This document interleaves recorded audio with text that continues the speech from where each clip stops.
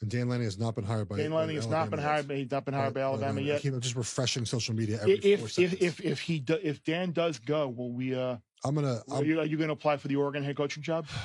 I don't know what I'm gonna do, buddy. I don't think he's going. to I think you're going to be okay. Oh, a tweet. Oh, oh, we have a tweet. Dan Lanning, staying in Oregon. Sources tell 24/7 Sports. There you go. I, say nothing. Oh, I told you. woo!